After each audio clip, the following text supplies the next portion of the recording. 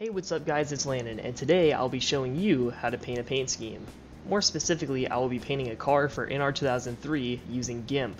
For this tutorial, I will be painting Clint Bowyer's 2014 5-hour energy scheme on a next-gen car. First, you want to get GIMP set up. Often when you first download GIMP, all the tools on the toolbox are grouped together. I don't prefer this, so to undo this, simply go to Edit, Preferences, Toolbox, and uncheck Use Tool Groups.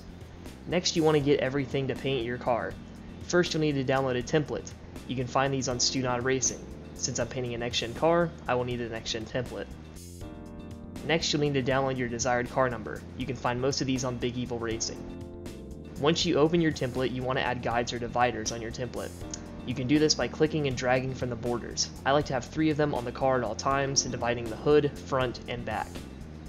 Once you're ready to go, create a new layer above the base color by clicking the page symbol at the bottom right of the screen. Then you'll use the lasso tool to create the design on the car. Once you have made your desired shape, just go to edit and then fill with either your foreground or background color. To change those colors, use the color picker tool to select a color off of a reference photo. For this one, I was using a logo from a race that 5-Hour Energy sponsored.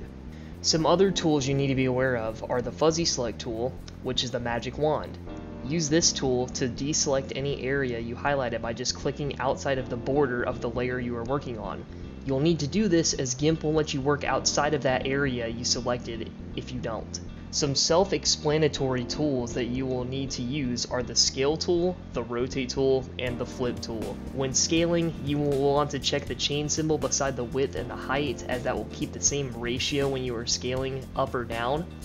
When you use the flip tool, click on the guides that you put earlier to flip it to the other side of the car. My last tip of advice is when making designs, if you have a design that is simple with an outline, make your selection, fill it with the outline color, then hit select, shrink, and then type in a number. I recommend 5 for thin outlines and 10 for thick outlines, and then fill with the other color. Once you finish, you want to export the scheme as a TGA file. Then move that file into the Exports and Imports folder on NR 2003.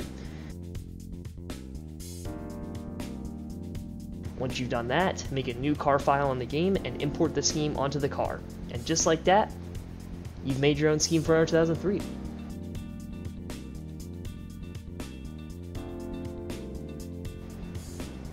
You can now use these new skills when painting any car at any time. This could be for NR 2003 on a different mod, all the way to iRacing, as iRacing uses different templates, but pretty much you can use the same skills to paint cars for that too.